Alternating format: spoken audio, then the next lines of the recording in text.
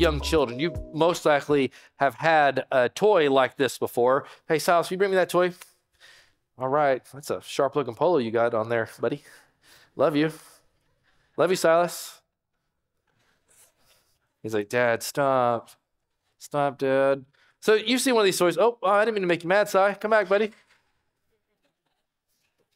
Um, you've seen one of these toys now, and usually when you see one of these toys, there's usually like a whole box of it. I don't know, maybe the kids' ministry budget was running low, but anyway, it's just that you just get the top of this one. Um, so this is one of those toys that inside of it you have all these different shapes. You got a square and circle and triangles. You got like a star, and then oh, there's a cross. We're teaching them young, you know. Just kidding, that's a plus sign. So you get the point. Obviously, you you get this toy and and this triangle for young children is supposed to go in triangle spot. And likewise, the circle will not fit in the square or any of the other shapes, uh, but it must go in that one. And likewise, all the way through. It won't go in the other spots unless it fits the shape because it's incompatible with the other spaces, only compatible with that right there, with the right spot. Now, I'm sharing this today because what Paul is going to talk to us about is incompatibility. That it is incompatible for those of us who are in Christ to worship anything else that is not Christ. He's been on this on this trail since the beginning of chapter 8 dealing with the issue of food sacrificed to idols. And he's going to lay the hammer down today with his major imperative that he's been building towards to verse 14, which says, Therefore, my beloved, my dear friends, flee from idolatry. He's going to finally like swing the bat and here's his overall point since chapter 8 the challenge to flee from idolatry we think about idolatry and we ask what exactly is idolatry we don't really have you know you know, these wooden sculptures or golden calves or that thing that Indiana Jones had in his movie. You know, we don't have those things here per se. So, what is modern day idolatry? Idolatry can simply be described as anything that directs our worship away from God. Anything that sort of steals away God's rightful place in our life, anything that we begin to worship over and above our Creator. When we begin to put our, or, or to maybe seek peace or security in things that are apart from God, that becomes an idol. When we begin to rest in earthly things, we make an idol of them. When we pursue pleasure in something contrary to the Christian life, we are showing our hearts are running away from God's word and towards evil, not what is good and holy. When we elevate or glorify really anything other than God, we make an idol of it. So, Paul has been talking to the Corinthian Christians who have been making a case that, you know, eating food in the temple of an idol doesn't affect them. It's just food, it's just a building. We're just making friends. You know, we're, it's all for Jesus. And they're making all these excuses because they're so wise. Paul comes along and says, No, no, no, you are misguided. That is not the case. And he swats in the most straightforward kind of way. And so we need to be the kind of people who hear it today and heed it today. We need to be the kind of people who listen in and receive God's word for us. Let me give you the main idea. Here it is Christians are called to be a holy people, wholly devoted to our holy God. Christians are called to be holy, H O L Y, people, wholly devoted, H W H O L L Y, wholly devoted to a holy God. Three things he's going to tell us. We should consider our life, consider our fellowship with Christ, and third, consider our participation with demons. You're like, what? All right, let's read together. See what he says here in 1 Corinthians chapter 10, beginning with verse 14. Therefore, my beloved, my dear friends, your text may say, Flee from idolatry. Flee from idolatry. I speak as to sensible people. Judge for yourselves what I say. The cup of blessing that we bless, is it not a participation in the blood of Christ? The bread that we break, is it not a participation in the body of Christ? Because there is one bread. We who are many are one body. For we all partake of the, of the one bread. Consider the people of Israel. Are not those who eat the sacrifices participates, participants in the altar? What do I imply then? That food offered to idols is anything, or that an idol is anything? No, I imply that what pagans sacrifice, they offer to demons and not to God. I do not want you to be participants with demons. You cannot drink the cup of the Lord and the cup of demons. You cannot partake of the table of the Lord and the table of demons. Shall we provoke the Lord to jealousy? Are we stronger than he? What a warning. A warning that we must heed and hear. First thing he says is to consider your life. And I'll, I'll say it like this He's been building to this one point, been building his case to verse 14, and we should hear it and consider our life. He says, therefore, flee from idolatry. That word flee, it's the imperative of the text. This means run from it. This is the second time Paul has used this text. Do we remember the first time he used it? Use it earlier in chapter 6, verse 18. He said to flee from something else. He said to flee from sexual immorality. There is demonic activity connected with sexuality. It represents something else going on in the world.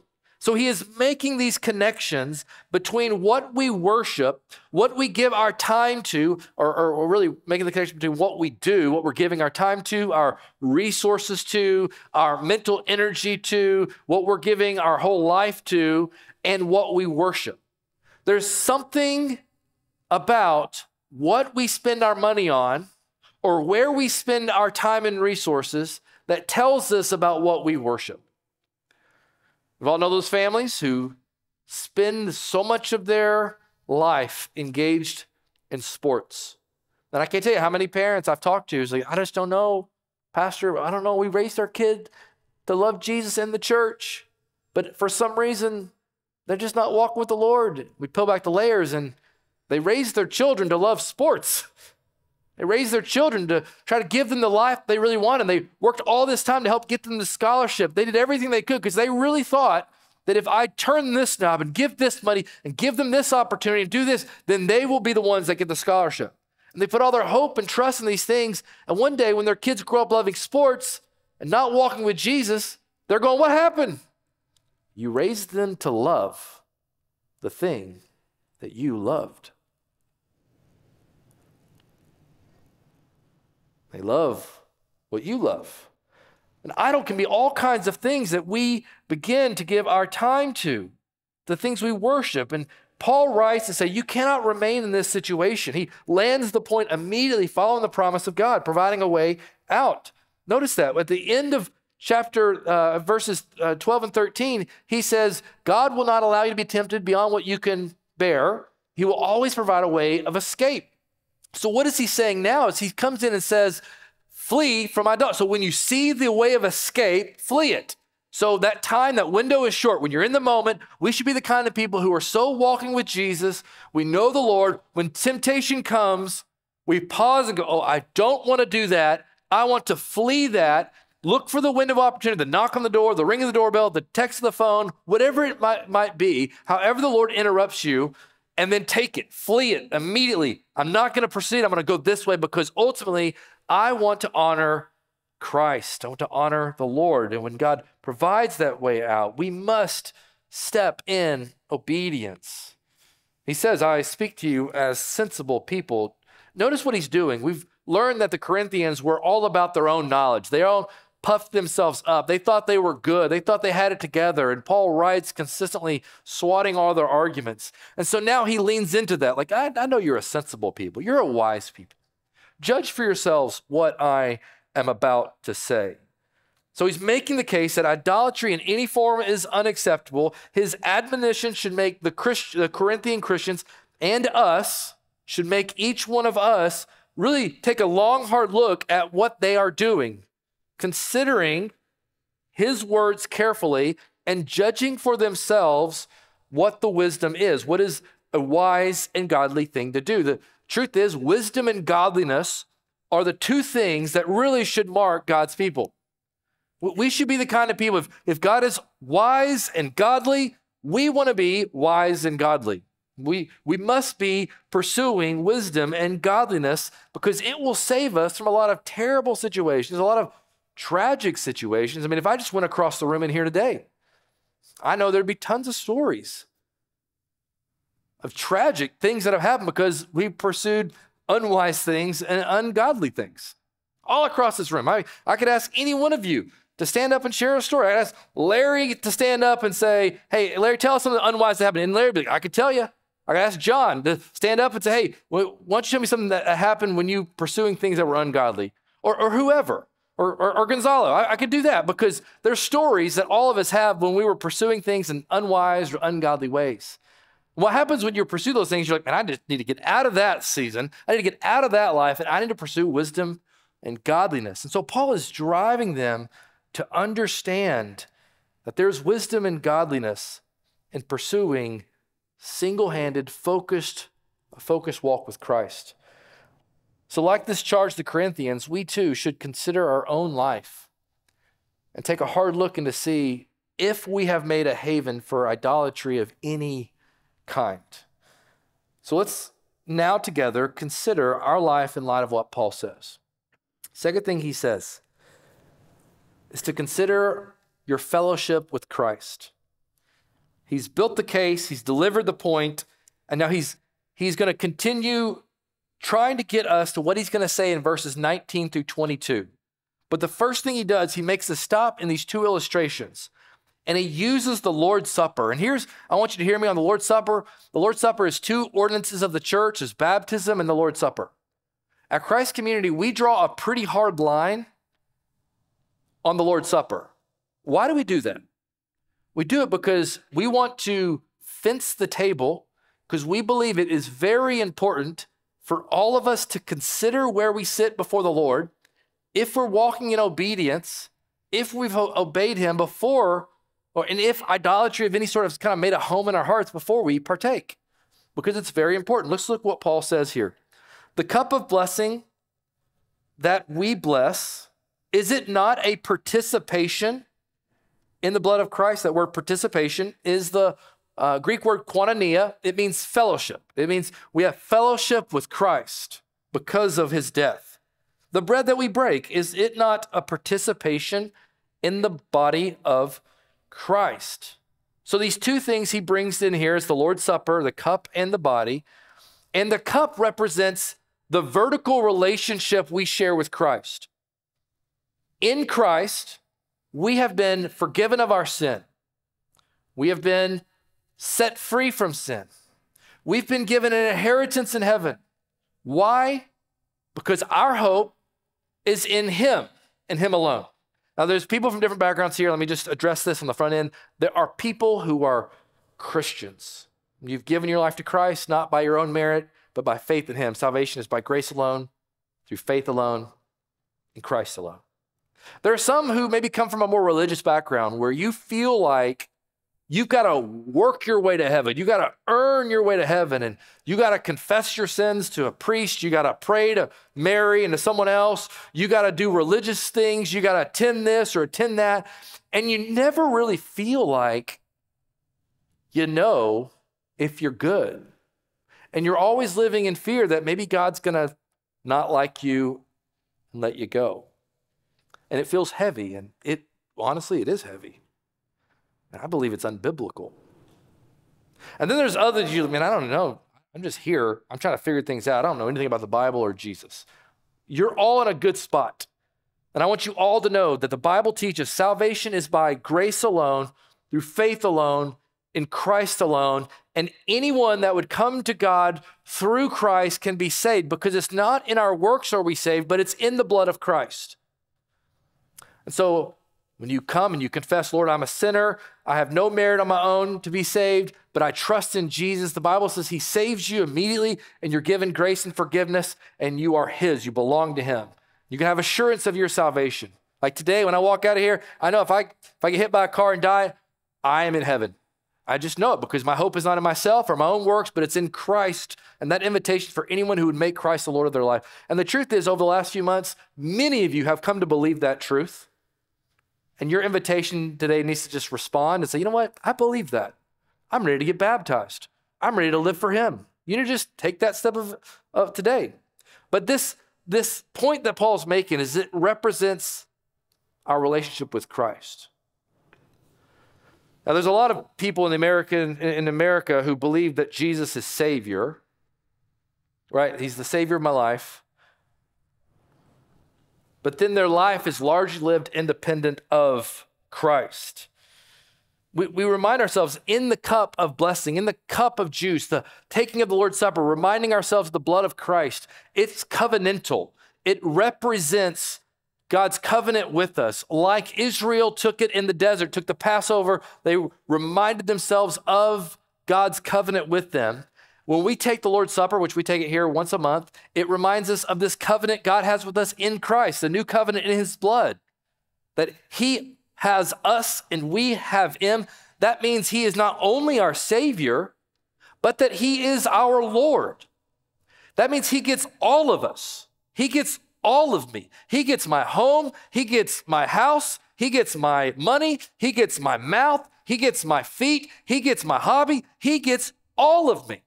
Because ultimately, it's all his. I am belong to him now and not my own. I am not my own. I've been bought with a price. So if you meet people who are like, "Oh, Jesus is my savior," but their lives throughout the week have no reflection of living for him, then you've met someone who's been deceived into thinking they're good. And ultimately, they're not. So he says, man, you should consider your fellowship with Christ, your relationship with Christ. Who do you belong to? You don't belong to yourself. Who do you give your affection to, your attention to? He is both Savior and Lord. It's this idea that the cup represents a vertical relationship. But then you get to the bread, and he says, the bread that we break, is it not a participation in the body of Christ? Because there is one bread, we who are many are one body, for we all partake of the one bread. Now we get to the horizontal relationship. This horizontal relationship that we share as brothers and sisters in Christ. This is why the local church is so important. This is why I believe you can't be a Christian apart from a local church. You belong to a church. You don't just belong to Christ apart from a church. Jesus died for the church, for his people. And you belong to the new covenant people that is in his blood. That means we're brothers and sisters together. This is why you're going to struggle. You're really going to struggle if you come to church and you sit somewhere in your favorite spot, you never talk to anyone, you never get into a community group, you just sort of sit and hang out, and then you leave without ever stepping into Christian community because we were meant to be doing life together. We were meant to be looking one another in the eyes and saying, Hey, how's your marriage? How's your heart? How are you stewarding God's resources? And for you to answer, Man, life is hard. My wife is hard to live with. My husband is dirty. You know what I mean? Like, like it's hard to do this thing because, man, I need your prayers it's, we're meant to have like brotherhood and sisterhood and to say, I'm struggling with sin right now. I'm struggling with contentment right now. I'm struggling with wanting more than I can afford right now. I'm struggling with pride or with this because we're built to be built up together. Because, as he says, there is one bread. We who are many are of one body, for we all partake of the one bread. So when we take communion together, it represents the fellowship we share with Christ and this Christian unity we share together, this solidarity we have as God's people, not only to live the Christian life here, but to have accountability to finish well. And then he turns his attention to Israel to make this connection between the, the Lord's Supper, the Last Supper, what Jesus said, all the way back to Israel and the Passover Seder, and he's building this argument to where he's about to say. He says, Consider the people of Israel. Are not those who eat the sacrifices participants in the altar? Don't they have fellowship now with pagan idols? He says. This is Deuteronomy 14 and, Deuter- and Deuteronomy 32. When Israel disobeyed and ate the sacrifices offered to other gods, they were judged by God for doing so. And the Corinthian church would have known this. They would have studied that. And now they begin to hear again, man, Paul's bringing Israel and he's making this connection to what they did. They thought they were fine until they weren't. And then all of a sudden they were giving themselves over to idols. And then all of a sudden they were judged by the Lord. You heard the saying, uh, you are what you eat? You know, you are what you eat kind of thing. That doesn't really mean like if you eat a cheeseburger like every day, you're going to become a cheeseburger. Like if that were the case, I would be an ice cream cone right now. So, although looking at the video of me three years ago, man, I feel like I have become what I've eaten. Um, the point is, when you eat unhealthy things all the time, it may not necessarily affect your body, although it will affect the outward appearance. It ultimately affects the insides. It affects your arteries. It affects maybe your life expectancy, it affects your cholesterol, it affects all the things. And that is the same when it comes to the Christian life and the things that we put up with, the things that we allow, the things that we give our time and affections to.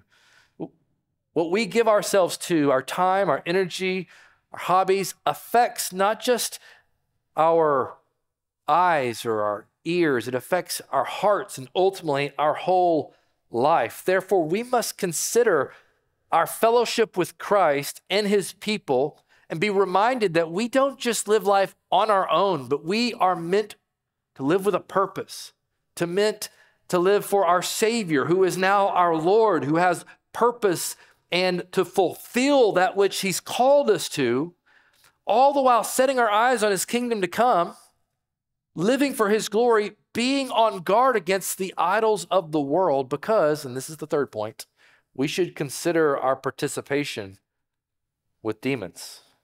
Because we belong to Him, we must consider our participation with demons. What do I imply then, he says? That food offered to idols is anything or that an idol is anything? No. I imply that what pagans sacrifice, they offer to demons and not to God. I don't want you to be participants with demons. You cannot drink the cup of the Lord and the cup of demons. You cannot partake of the table of the Lord and the table of demons. Here's the point that he's been driving to. In participating with food sacrificed to idols, they are participating with demons.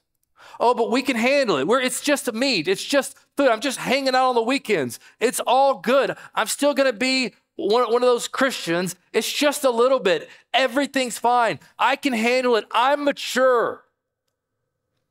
And he says, No, no, no. You don't understand. There's far more at play behind what you think you're doing than you realize in the spiritual realm.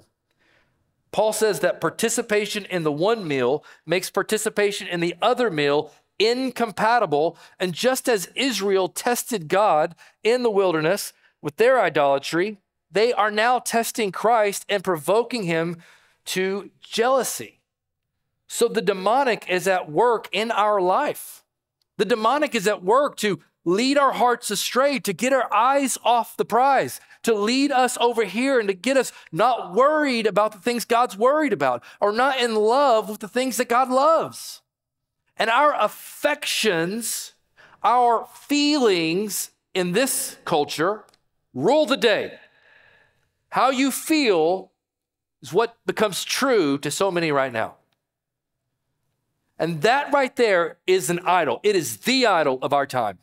And it's not just in these people or that people, it is in all of us. It's the air we breathe, the love of self.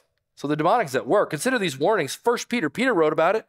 Be sober minded, be watchful. Your adversary, the devil, prowls around like a roaring lion, seeking someone to devour. John writes about it in 1 John 5. We know that we are from God. The whole world lies in the power of the evil one. And we know that the Son of God has come, has given us understanding so that we may know him who is true. And we are in him who is true, in his Son, Jesus Christ. He is the true God and eternal life. We all say amen to that. And then he says, Little children, keep yourselves from idols. Why do they say that? Because they know how easy it is for us to grow apathetic, for us to grow tired of the wor- uh, of wandering, for us to grow deeper in the Christian life, for us to face what we face in this world, the hardships, the temptations, the trials, it's exhausting. And sometimes we just get tired of it. And we end up becoming like Israel and drifting into lesser idols. What are the potential idols of our time? You just look at a society and it'll tell you the things that the world worships right now. Things like abortion is worshiped in our country, protection, alcohol, sexuality.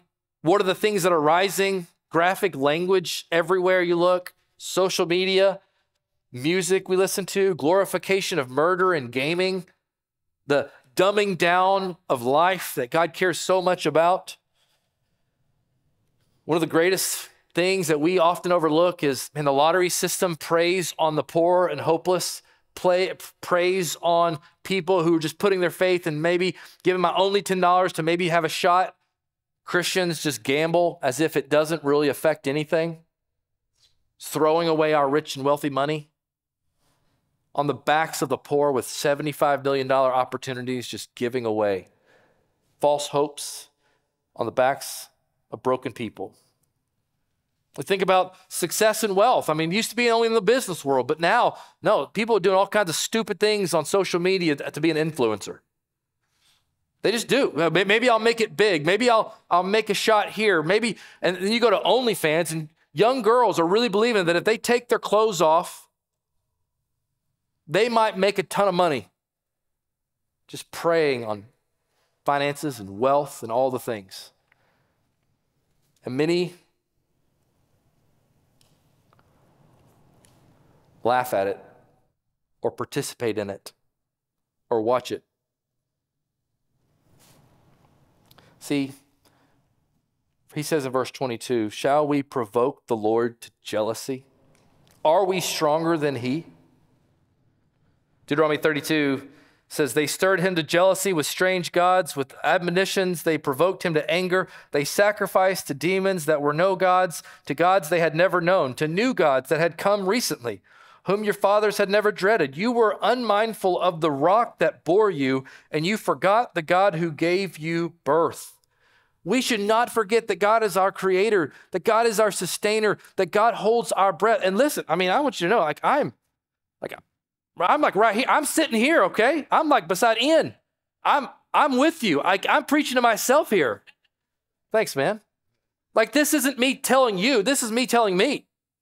I'm right here with you. Like I, I got to be a godly, wise husband, father, leader. So don't be like, oh, he sure is preaching at me. No, the text preaching at me. See, one who is bound to the Lord and his fellow believers through participation in the confession that we make when we take the Lord's Supper that we belong to Christ, that his broken body, shed blood, blood is representative of the covenant he made with me and the covenant I've made with him. I belong to him. We cannot, under any circumstance, participate in the worship of demons. We got to be knowledgeable and wise and godly. I mean, those things are evil, I got to be steadfast. Why? Because the Lord is jealous for you. He's jealous for your affections. We should not test him. We should not presume that just because, hey, man, things look like they're going well, I'm getting blessed. Maybe God doesn't care about this or that. No, we should care about this or that because God sees everything. And we want to align what we do up with what God's doing in our life. So, this is genuinely an invitation to make a conscience choice where you are. Who is it you're serving? What are you serving? Are you serving yourself and your future and your kingdom and your pleasures? Or are you serving our Lord Jesus Christ, who went through death for you, who rose to life so you and I can have life? You've been purchased by his blood. You belong to his kingdom. You're called to his mission. Are you in it for his glory? Are you in it for yours? See, to the Christian, an idol may be nothing, but it represents evil, and demons have no true power over us. Any power they wield pales in comparison with the power of Christ. Therefore, we must be the kind of people, the kind of people who walk wise and godly lives, not giving the enemy any ground in our life. And whenever we do, we flee it, being on guard against the evils the world presents us, knowing that demons are at work behind all these pleasures. Now, this does not mean that we like hide in a shell and never participate in things. I love sports. My kids play sports. An idol is when you make, when you take a good thing, it becomes a God thing, and that's a bad thing. So there are good things that we can do without making them God things and ultimate and replacing Christ. Money is not a bad thing. There are plenty of wealthy people in the Bible. Wealthy people fund God's mission over and over and over again. So money is not bad.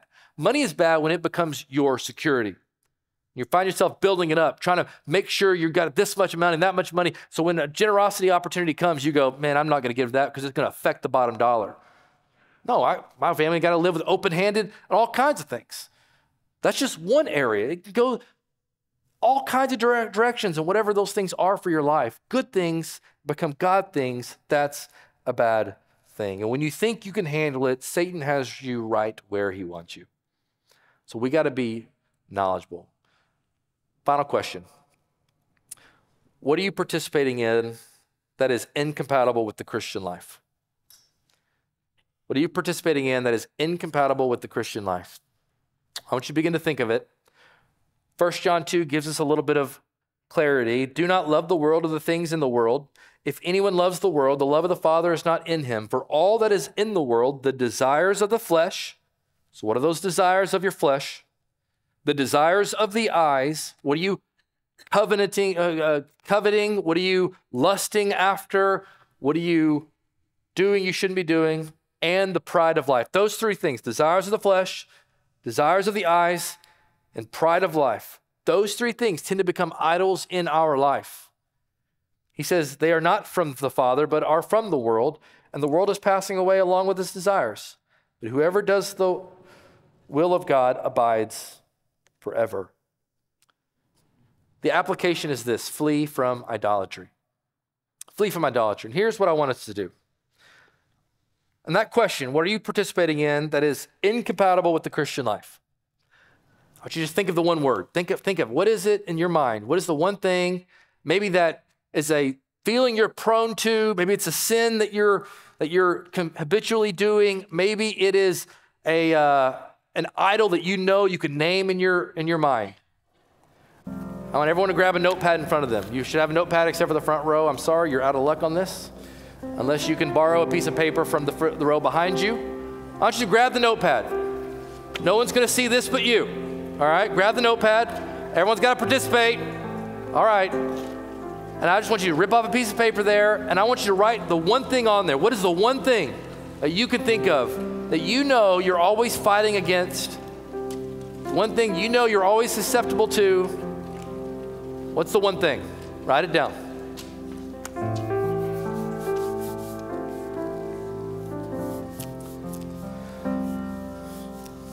Everybody writing, writing something? Write, write a word, write whatever it is, write it down. What's the, what's the temptation? What's the idol? What's the thing you're prone to? And once you've got it written, I just want you to bow between you and the Lord, and I want you to just tell Him, Lord, you know this is where I struggle. You know I'm prone to this. You know I got to flee this. Right now, just take it to the Lord.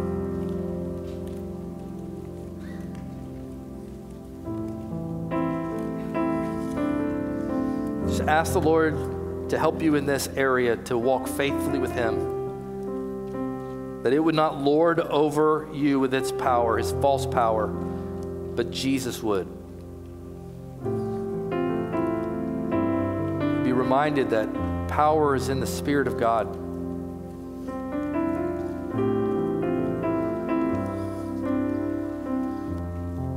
Okay, now I want you to take it. Everybody rip it off. You crumble it up.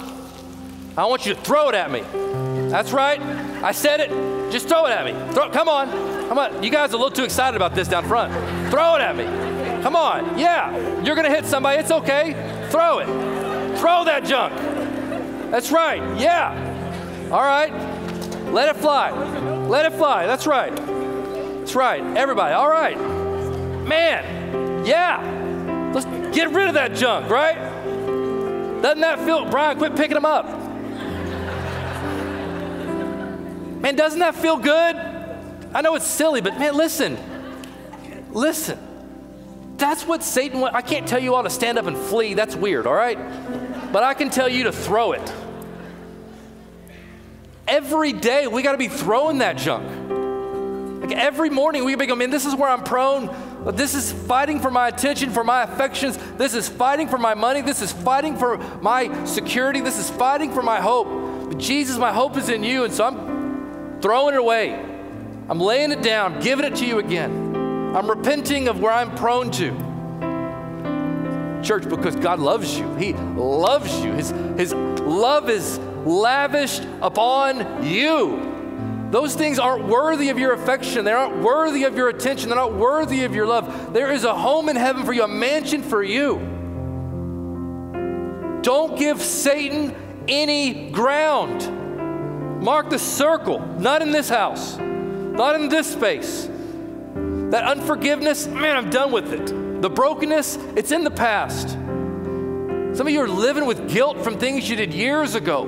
Throw it away. It has no power over you. Forgive the guy, forgive the woman.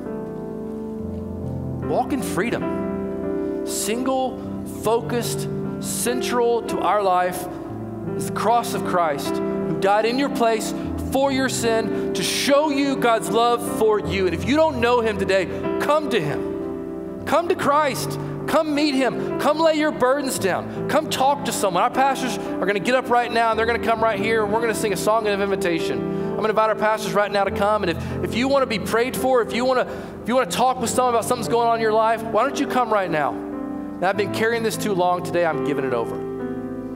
Turning it over right now. Pastor, will you just pray for me? Will you meet with me? If you want to give your life to Jesus, come right now. Say, man, I, I want Christ. Come right now.